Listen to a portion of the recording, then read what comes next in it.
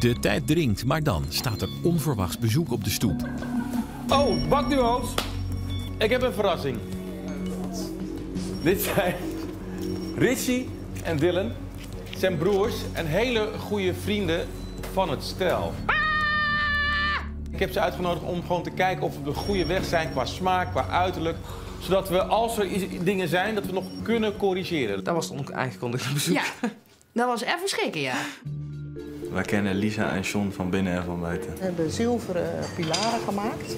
Dan komen de taarten op en dan met eh, banen gaan we een soort snowboardparcours van de ene taart naar de andere maken.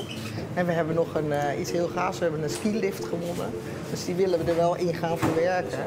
Kunnen ze misschien proeven? We Nee, nog niet. Nee, Nog niet. Nog even niet. De eerste taart was heel spectaculair. En wat wel een domper was, is dat we niet mochten proeven. Want we kunnen nu eigenlijk alleen maar beoordelen op hun woord. En niet op, de op, op de smaak. We hebben gekozen voor een boom. Nou, ik denk in eerste instantie misschien wel dat het een, een, een afknapper is voor allebei. De, de boom. En we gaan de boom helemaal met plaatjes bekleden, et cetera. En dan gaan we daar alle elementen van hun samen in verwerken. Oké jongens. Eerlijke... Helemaal top. goed hoor. Ja, smaak zeker goed. Top. Ja. Ja? Ja, nou ja, ik- ja. We mogen gelijk proeven. Ja, Doe maar. En daarna bespreken we het uit. je doet, draait op. Heel goed. Eerst omkopen, dan Ja, ja, ja. Zo, dit smaakt ook top. De smaak van de taart was echt heerlijk. Die was echt perfect. Wij gaan de taart maken eigenlijk in drie delen. Ja. En die versieren we allemaal met kerstballen, lichtjes. Hele mooie, elegante bruidstaart wordt. Ik denk dat eh, de taart van het zwarte team echt iets voor Lisa is. Alleen ik denk John er misschien een andere idee over heeft.